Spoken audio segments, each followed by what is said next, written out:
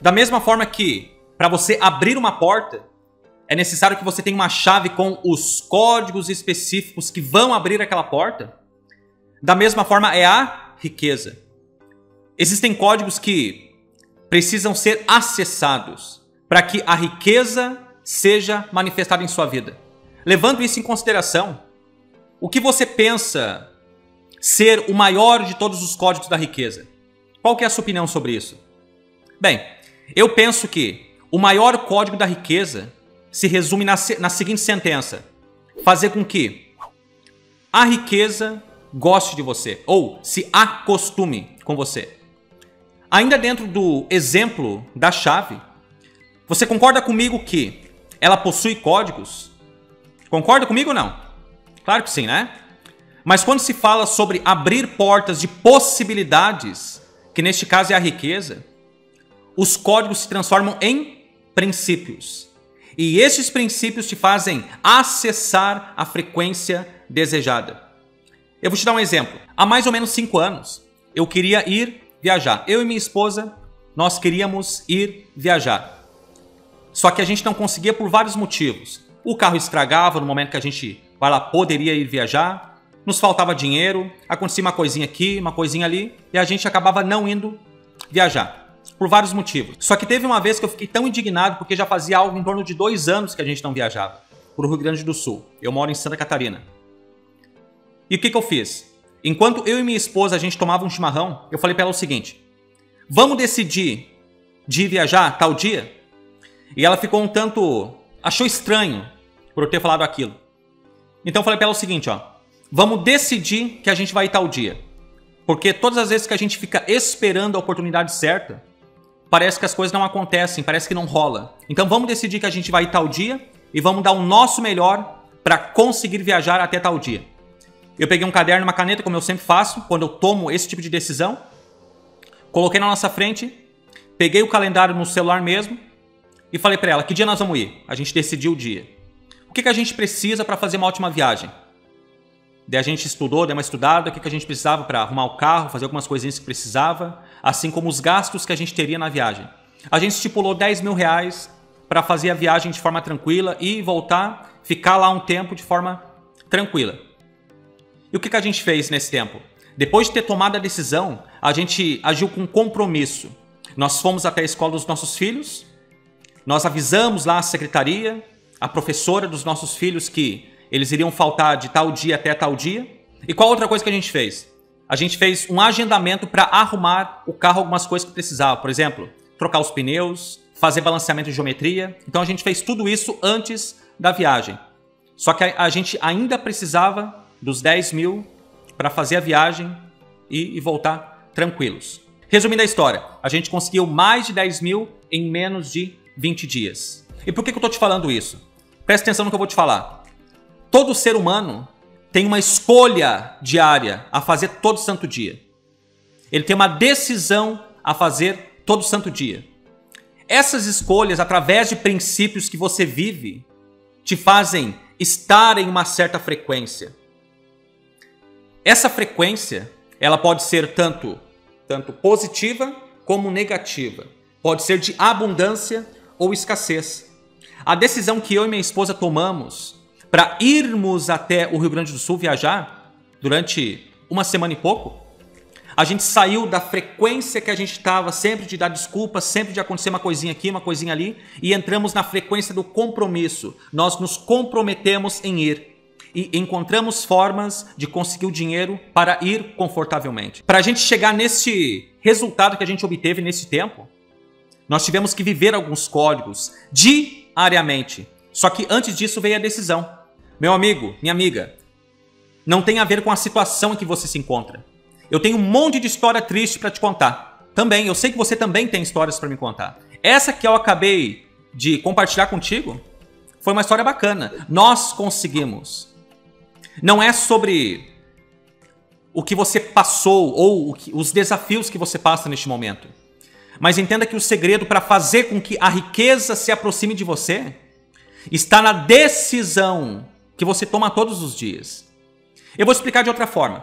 Pense que todos os dias você tem um poder de decidir entre duas portas que levam a dois caminhos totalmente diferentes. Na porta número 1, um, tem uma placa na parte superior da, da porta, imagine aí, tem uma placa com a seguinte descrição. Preste atenção. Nessa primeira porta está escrito o seguinte: presente divino, prosperidade e riqueza. Na porta número 2, tem uma outra placa na parte superior com outra descrição.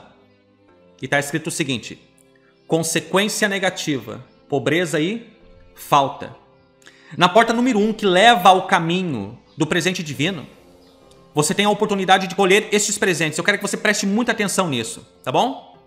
Porta número 1, um, você tem o poder de colher estes presentes aqui, ó. Vai lá. Número 1, um, liberdade para agir apesar dos medos e preocupações. Número 2, controle emocional segundo o que lhe acontece. Número 3, boa saúde mental e física. Número 4, sede e aplicação de conhecimento. Número 5, decisão pessoal e consciente sobre a sua vida, seu trabalho e sobre a quantidade de bens materiais que você deseja ter. Já na porta número 2, que leva ao caminho das consequências negativas, existe um preço a ser pago.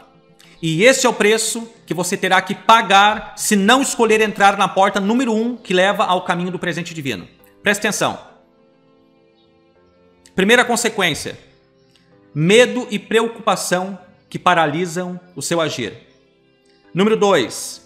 Reações negativas, animalescas, frustrações, sentimento de incapacidade. Número 3, mentalmente e fisicamente não saudável. Número 4, não aplica o que aprende. E número 5, manifestações automáticas diversas, que muitas vezes levam a limitações, pobreza, ciúme, inveja, raiva, ódio e a falta de fé em Deus, na vida nas pessoas e a pior de todas, a falta de fé em si mesmo. Bem, é possível que você tenha se identificado com alguma ou algumas dessas consequências negativas, ou quem sabe todas, não é mesmo? E quer saber? Tá tudo bem. Mesmo que você tenha se identificado com as consequências negativas da porta número 2, isso é uma ótima notícia. Sabe por que é uma ótima notícia? Pois a conscientização. O que é conscientização? É estar consciente sobre algo. Neste caso, se você se identificou com a porta número 2, não tem problema nenhum, não há vergonha nisso. A conscientização é a luz da verdade sobre onde você está neste momento. É o primeiro passo que te levará para as riquezas, ou qualquer que seja o fim que você deseje. Preste atenção nisso conscientização. Da mesma forma que não há como você conquistar o que você não sabe querer, não há como mudar algo que você não confessa que tem. Estar consciente sobre o como você está é o primeiro passo. A pergunta que eu quero te fazer é: você quer assumir sua verdadeira identidade de prosperidade, riqueza e abundância? Sim ou não? Bem, se a resposta for sim, você precisa tomar uma decisão. Amanhã? Claro que não, neste momento. E qual que é a decisão? De entrar na porta número 1. Um. Prosperidade e riqueza. Toda vez que você toma uma decisão e decide trilhar no caminho dessa decisão, fazendo tudo que estiver ao seu alcance, é incrível como você assume uma nova forma de pensar e agir. A decisão é um dos códigos mais poderosos que você tomará posse neste processo de criação de riqueza. Pois quando você decide que vai sair do ponto A para ir ao ponto B, você deixa de pensar no nível de consciência do ponto A e você começa a pensar no nível de consciência do ponto B. Tá fazendo sentido? Até porque não há como, segundo o que diz Albert Einstein, eu acredito que essa frase seja dele, não há como solucionar um problema através do mesmo nível de consciência que, que o gerou. A decisão, meu amigo e minha amiga, te faz pensar diferente, te faz agir diferente do que você está acostumado a agir. Quando você toma uma decisão, você sai de uma frequência e entra em outra frequência. Lembra que eu falei antes do meu exemplo? Quando nós estávamos nessa frequência de que a gente não conseguia ir viajar, as coisas viviam acontecendo para validar essa crença nessa frequência. Quando nós decidimos entrar na frequência do compromisso, quando nós decidimos entrar na frequência do presta atenção nisso, na frequência do compromisso e fazemos coisas que iriam validar essa crença aqui, as coisas começaram a acontecer. E essa soma pensar de uma certa forma, mas agir de uma certa forma, é o que gera os resultados propriamente ditos. E ainda dentro do poder da decisão, eu vou te fazer uma outra pergunta. Você decide entrar na porta do presente divino? Que te leva ao caminho de prosperidade e riqueza? E aí? Note que existe uma única decisão aqui.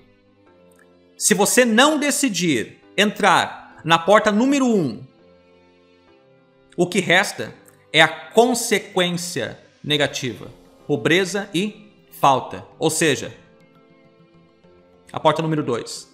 É você quem decide. Bem, se a sua resposta for sim, eu peço que você faça a seguinte declaração aqui abaixo no campo dos comentários. Escreva o seguinte: Eu decido trilhar o caminho da prosperidade e riqueza. Eu tenho uma mente de riqueza. Faça essa, essa declaração aqui abaixo no campo dos comentários. Eu decido trilhar o caminho da prosperidade e riqueza. Eu tenho uma mente de riqueza. Faça isso, tá certo? Ficou entendido? Bem, eu espero que sim. E depois me conte como foi tomar essa decisão. Eu aposto que alguns que estão aqui assistindo tremeram na base quando decidiram tomar essa decisão. Porque tomar decisões é um desafio grande. E é por isso que muitas pessoas não saem dessa frequência e entram na frequência que querem, justamente porque é um desafio muito grande. Deixa eu te mostrar uma coisinha aqui, ó. Olha que bonito, ó. Veja só esse manual. Os códigos da manifestação. Os verdadeiros ensinamentos bíblicos sobre como manifestar sucesso e prosperidade que foram mantidos em secreto. Olha que legal. Não se preocupe que eu não quero te vender ele, tá? Pelo menos não vou te vender ele hoje. Em outro momento, quem sabe? Até porque isso aqui vai virar um livro em breve. Só que eu decidi entregar este manual de forma gratuita, junto com uma super aula ao vivo também gratuita, onde eu vou revelar a combinação secreta da manifestação. E o que, é isso? Eu vou discutir sobre três códigos ocultos na Bíblia que foram mantidos em secreto e que, se compreendidos de forma correta, podem te fazer atrair sucesso, prosperidade e qualquer coisa que você deseje. Não importa o que seja. Bem, este encontro vai acontecer no meu canal no YouTube, quinta-feira, agora, dia 9 de dezembro, às 20h20. Além de compartilhar os códigos secretos da manifestação, assim como este manual em PDF e um outro material em áudio em MP3, também de forma gratuita, eu vou gerar uma oportunidade única que fará você avançar intelectualmente dois anos em poucas semanas. Não acredita? Bem, participa do encontro Lá você vai entender o que eu estou falando. Será uma verdadeira virada de chave. Bem, o convite está feito. É só você clicar no primeiro link aqui da descrição, fazer o seu cadastro gratuito e aguardar o grande dia. Assim que você se inscrever, você já vai ganhar um material riquíssimo em áudio em MP3, que vai te preparar mentalmente para o nosso encontro ao vivo, quinta-feira, dia 9 de dezembro, às 20h20, no horário de Brasília. Este material é fantástico, tá bom? E hoje mesmo você já pode ter acesso a ele. Tá certo? É só você clicar no primeiro link. Bem, eu vou ficando por aqui. Te deixo um forte abraço e te vejo lá. Tchau, tchau.